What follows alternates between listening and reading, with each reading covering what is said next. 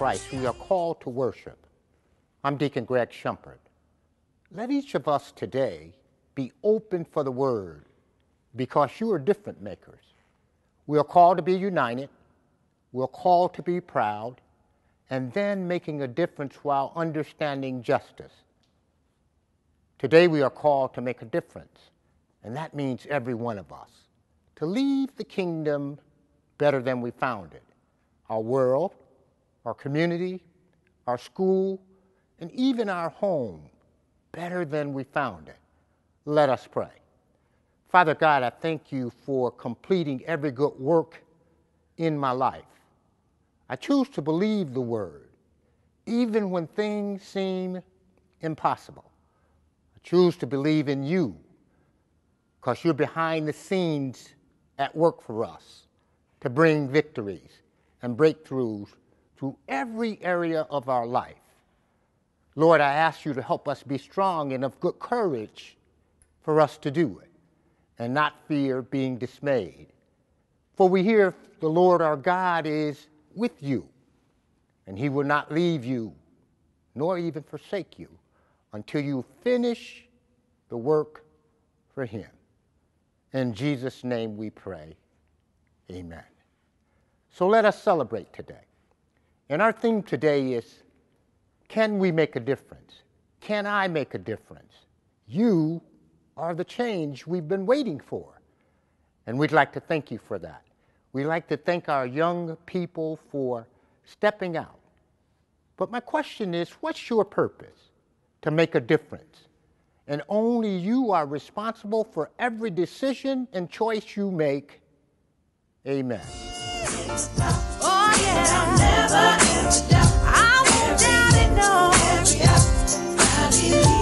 Hello, my name is Dr. Jim Rigg, and I am the Superintendent of Catholic Schools for the Archdiocese of Chicago. It is my great pleasure to announce the recipients of the African American Heritage Service Awards for 2021.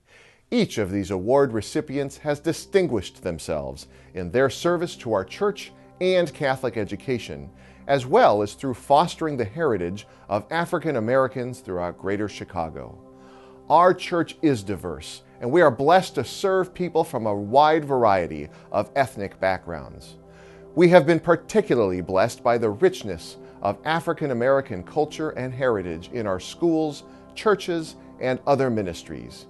Each of these awards winners has embraced and promoted this heritage, helping to enable our church to better reach the people they serve. We are truly blessed by their presence. This year's Clergy Award is for Father Tom Walsh. Father Walsh is the pastor of St. Martin de Porres Church and the former pastor of Presentation Parish, both on Chicago's west side.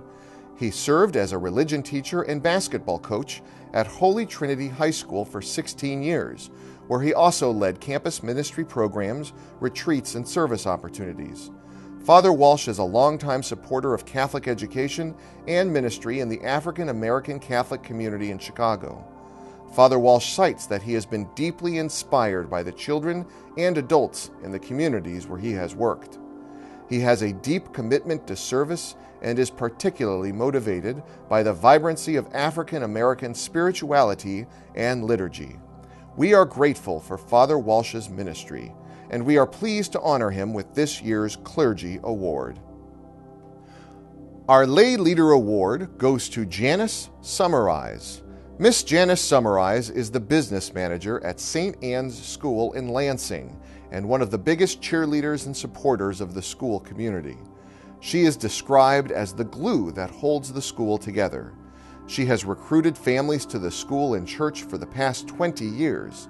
She goes above and beyond the call of duty through selfless acts of kindness and concern for anyone who is in need. If a child is sick, Miss Summerize will make sure they feel safe and is comforted while they wait for their parents to pick them up. Miss Summerize loves and supports students as they prepare for their sacraments as well. She insists that Mass and religious instruction be a priority for the school community, especially during the most difficult of times of COVID. She is a fantastic part of the St. Anne School community, and we are pleased to honor her with the Lay Leader Award. Our Elementary Educator Award goes to Miss Karen Brodsick. Miss Brodsick is a committed, faith filled, hard working Catholic educator and leader. For the past 40 years, she has served at Christ Our Savior School in South Holland. As the current principal of Christ Our Savior, Miss Brodsick seeks the success of each student and teacher in her school. She actively partners with others for the advancement of Catholic education, faith, and justice in her leadership. Miss Brodsick's kindness and level headedness have helped her school community navigate the unique realities of the pandemic this year. Throughout her leadership, Ms. Brodsick has consistently provided a variety of opportunities to help students feel welcomed and appreciated. Ms. Brodsick also encouraged activities of interest to African American students, such as praise dance, drumming, and forming a choir. Parents and families in the school community support her and believe in her leadership, and we are pleased to present her with the Elementary Educator Award. The High School Educator Award goes to Tracy Aldez. Miss Tracy Aldez is a trusted and respected counselor for the De La Salle Institute school community. She has been a dynamic and effective counselor for students for over 10 years. She is steadfast in her faith and is a courageous model of Christian values to students and adults in the school. Ms. Aldez has provided faculty and staff with a variety of workshops on topics related to mental health awareness in the workplace. Recently, she was a co leader in faculty development, specifically related to diversity, inclusion, and anti racism. A knowledgeable and confident professional, Ms. Aldez has been invited to facilitate conversations on similar topics with other school staff throughout Chicagoland. The entire De La Salle Institute is the beneficiary of her passion, faith, and commitment to social justice. She is a model of servant leadership, and we are happy to present her with the High School Educator Award. Our Elementary Student Award goes to Jaden Thomas. Jaden Thomas is a member of the eighth grade class at Infant Jesus of Prague School. This year, Jaden has stepped up as a very engaged leader in the school community. He is currently the president of the National Junior Honor Society, and he is an active member of the eighth grade leadership team. Jaden is an outstanding, dedicated member of the school band. He plays the saxophone, and he has shined as a solo performer in the IJP Virtual Christmas Pageant and last year's Christmas concert. Jaden is also a regular member of the school basketball teams in non COVID years. Jaden helps begin the school days for everyone at IJP with grace and confidence when he reads the morning announcements and leads the entire community in prayer. Congratulations, Jaden, for being this year's recipient of the Elementary Student Award. Our High School Student Award goes to Levon Overton. Levon Overton is part of the class of 2022 at De La Salle Institute. Levon is the type of student that naturally stands out amongst his peers because he acts from a place of humility and genuine care. He does not seek recognition, yet he is easily recognized because of who he is, a shining example of what it means to be a De La Salle Meteor. Levon is part of the Meteors United group that gathers teachers and students for focused dialogues about justice, diversity, and inclusion within the school community. Levon participates in weekly community prayer before school. He deeply reflects on his faith, and he is cheerful and helpful to all he encounters. He exemplifies the Lasallian values of faith, service, and community. Congratulations, Levon, for being this year's recipient of the High School Student Award. It took the work of many people to put together our virtual services this year. I would therefore like to particularly thank the following individuals the African American Heritage Service Planning Committee, including Miss Melissa Link from the Office of Catholic Schools. All those who led sessions and prayers, especially our black deacons and their wives. Our hard-working Archdiocesan Media and Communications team for their great work. All of the students, teachers, and school leaders who have supported and attended our sessions. All of our sponsors who have generously shared their support for our service this year.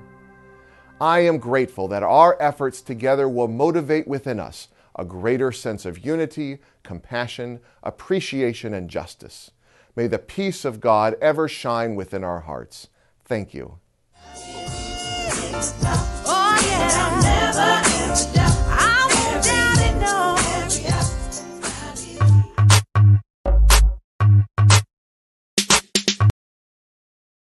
In this backwards world we live in, why do our dreams stay grounded while our nightmares take flight? Why is it so easy to do wrong but impossible to do right? It's not about what you have, it's about how you use it. Nothing is good or bad unless you choose to make it so. There is no peace with violence, and when violence comes, the fighting comes. Constantly fighting to prove our worth because they told us we were worth nothing. No matter how much pain we go through, you can never take what we have. Will me, thrill me, you can never kill me, because we'll always have our rights. We've seen so many of our brothers and sisters die at the hands of cops who are bigots that beg for sympathy, knowing they'll willfully have our blood on their hands. We are the victims of police brutality. Now we're tired of the, being the victims of hate. No matter what, We'll never stop fighting for our brothers and sisters who are affected by our racist system. Us black folks are tired, but no, no, we'll never stop fighting to get our justice. We spent all these years fighting and fighting, and we're not giving up. We just have to have faith in ourselves and our people because we can make a difference. But through these tough times where black people are getting abused and Corona is killing everyone, we can put our hands together and pray for help. But we got so many blessings and we don't even know it. But the least we could do is show that we appreciate him by saying thank you. Don't forget, he died on the cross for you and me. We're grateful because we are in God's hands now.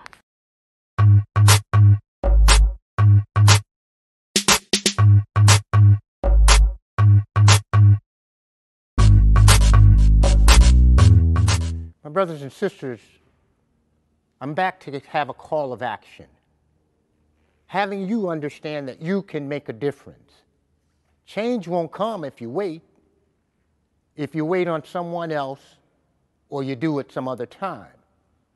We will call on God's promises in His presence to be with us.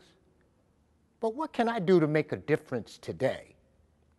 Do I accept the call to unite us by standing together and celebrating our heritage with one another, showing our brothers and sisters in Christ that we can make a difference.